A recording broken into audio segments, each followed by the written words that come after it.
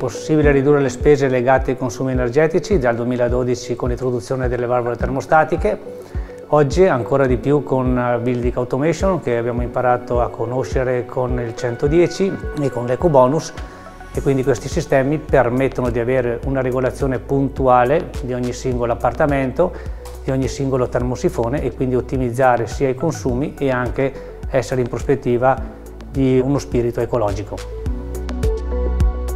Occupiamo anche della contabilizzazione dell'acqua calda sanitaria, ma è un di cui, perché la nostra azienda è specializzata nella ripartizione del riscaldamento, dell'acqua calda, acqua fredda e quindi i servizi che diamo ormai sono omnicomprensivi per la gestione di un dato, per la ripartizione di quelli che sono i consumi di stabili e degli immobili.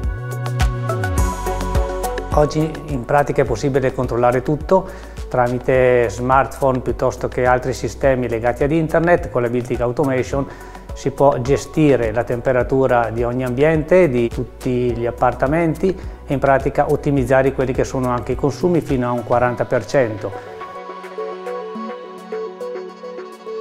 I servizi che offriamo sono legati alla contabilizzazione del calore, misurazione dell'acqua calda sanitaria piuttosto che l'acqua fredda, nella sostituzione dei ripartitori, nella sostituzione dei sistemi diretti, quindi anche quelli indiretti. Offriamo poi un servizio di letture certificate. In Bergamo e provincia possiamo ritenerci leader, siamo cresciuti negli ultimi anni e quindi anche il nostro cliente ha apprezzato la nostra professionalità.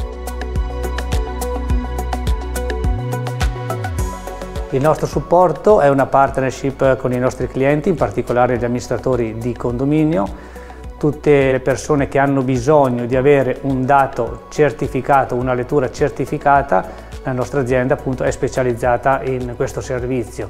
Tra l'altro da poco abbiamo messo anche a disposizione un portale dove vengono pubblicate quelle che sono tutte le letture per ogni singolo appartamento, per ogni singolo radiatore. Il cliente finale può interagire leggere il suo dato, verificare i consumi nel tempo, quindi anche paragonarli con anni precedenti, e in più verificare se ci sono delle anomalie che vengono segnalate in tempo reale.